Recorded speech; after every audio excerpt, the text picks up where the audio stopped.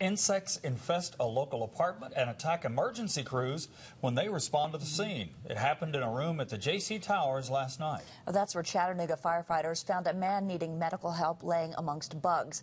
News Channel 9's Karen Zatkulak explains that the pests bit several firefighters as well. Karen. Kim and Calvin, that's right. Tonight the fire department is busy disinfecting their truck and their gear and taking steps to make sure bugs don't attack their crews again. The Quint 2 fire truck now sits out of service with yellow tape across the door and signs warning that it's contaminated inside. But it wasn't hazardous materials that the crew encountered. Instead, it was a hazardous amount of bugs to have infestations like this where people are reporting bites is really rare for the fire department. Fire Chief Randy Parker tells us three of their firefighters got bit on their legs when the bugs traveled up under their turnout gear last night.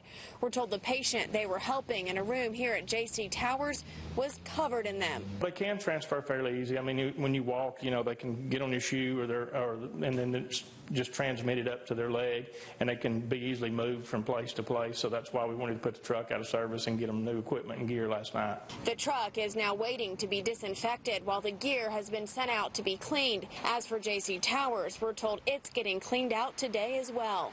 We did speak with a manager here at Jaycee Towers. He says the bed bugs in the room last night were a bad case. He says it's a problem they've been fighting for several months and have tried many different measures to get the bugs out. The manager says they've even removed all of the furniture from the lobby and they exterminate every room that's infected, but can't seem to get rid of the pesky pests. It's a problem we've seen growing in our area recently.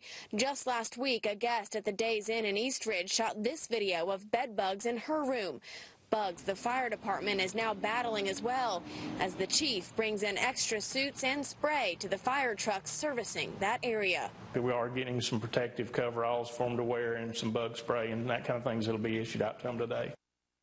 Chief Parker says the incident didn't cost much financially, but it is a growing concern for firefighters. The department also sent a pest control company to inspect Fire Station 1. They tell us the truck should be back in service in the next few days. Kim. Karen, thank you so much for that update.